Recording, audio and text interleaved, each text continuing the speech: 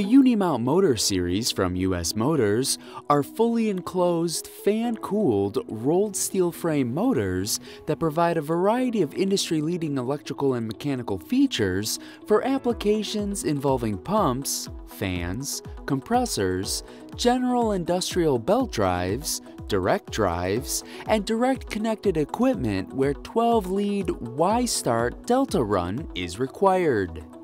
with footed, C-face footed, and C-face footless options, motors in the Unimount series can also be used as NEMA MG1 standard inverter duty motors and can operate at up to 3,300 feet above sea level.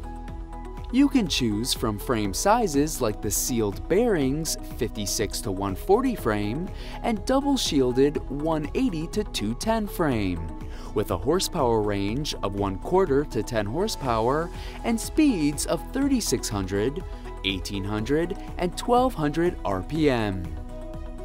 The Unimount Motor Series also features All-Guard Motor Quality System, Polyrex EM grease, pulse and abrasion resistant wire, and 100% solid polyester varnish on all frames. For more information on the Unimount Motor Series from US Motors, visit us at Galco.com.